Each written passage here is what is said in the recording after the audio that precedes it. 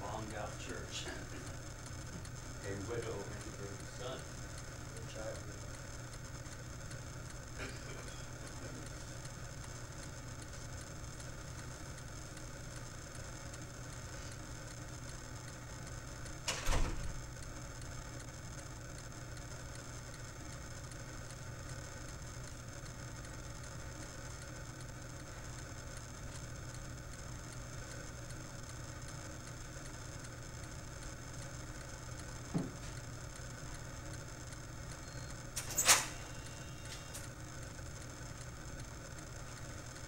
Bill's here. And we didn't get to see